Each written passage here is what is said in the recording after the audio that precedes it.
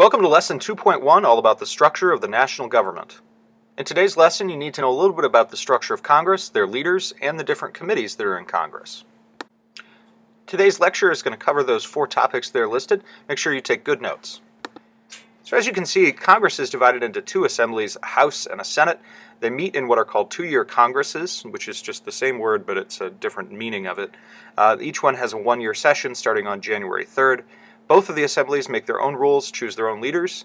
The Senate we would generally consider to represent the states. There are two senators for every state and about 3 million on average people per senator. But, you know, in certain states like Wyoming, each senator would represent, say, 260,000, whereas in California, each senator represents roughly 20 plus million people. Uh, the House represents by population, so there are 435 members in the House, an average of about 710,000 members, um, where that's give or take a few hundred thousand in some places. Now, the qualifications and terms for Congress are different for each of the two assemblies. In the Senate, the terms are six years long with an unlimited reelection. Uh, the qualifications are that you have to be 30 years old at the time of your uh, taking office, you have to be a resident of the state, um, and you have to have been a citizen for at least nine years. The House, the terms are only two years, so they're almost constantly running for reelection. The qualifications are 25 years old. Um, you have to be a resident of the state that you're re representing, and you have to be a citizen for at least seven years. Now, as far as the leaders in Congress, like I said, the House and the Senate choose their own leaders. In the House, they select one large, uh, big picture leader called the Speaker of the House, and that person is technically nonpartisan. Um, they're supposed to be in charge of kind of keeping order in the House, um, and it's clearly the most powerful position in the House. Um, usually, that position is chosen by the majority party. Both of the two parties also elect what are called floor leaders. You would have a majority floor leader and a minority leader. Depending on whether your party was in power, you'd be the majority leader, or not in power, you'd be the minority leader.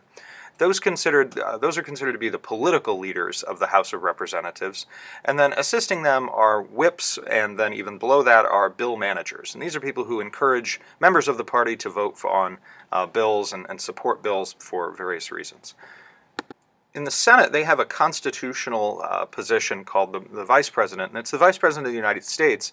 Um, Joe Biden is the current, and he he is the President of the Senate. Uh, he doesn't get to speak on the floor of the Senate. Um, he doesn't really have any major role in the Senate um, except to break ties when the Senate comes to a tied vote. Um, but, he's actually a, he's a member of the legislative branch in that sense. Um, but he doesn't really do anything as part of it. It's not not really in his job. Um, the Senate also has a special ceremonial position called the President pro tempore. That person is generally the longest serving senator from the majority party. So that's currently Orrin Hatch, who's been in Congress for a really long time. Um, and that position comes with it some, you know, benefits. You get a nicer office. You have some kind of a little bit more of a bully pulpit. Um, but generally, even then, it's not actually that significant. You're in the line of succession to become president. Um, below that, there are minority and majority leaders in the Senate, but they are not as powerful as the Speaker of the House or the leaders in the, in the House of Representatives. They're usually more of a public face, um, that they don't have as much power. So we'll kind of explore that a little bit in class. There's also, of course, whips and bill managers in the Senate. Finally, Congress also forms things called caucuses, which are kind of internal groups of like minded uh, members of the House and the Senate. Uh, there's a variety of groups, things like caucuses. So, for example, the Tea Party caucus, which I think is sometimes called the Freedom Caucus, um, they're you know like-minded conservatives. There's the Congressional Black Caucus, which has obviously African American members of Congress are members of it. Um, they're generally to get members of Congress together who share certain attributes and get them to discuss potential legislation that could affect their interests.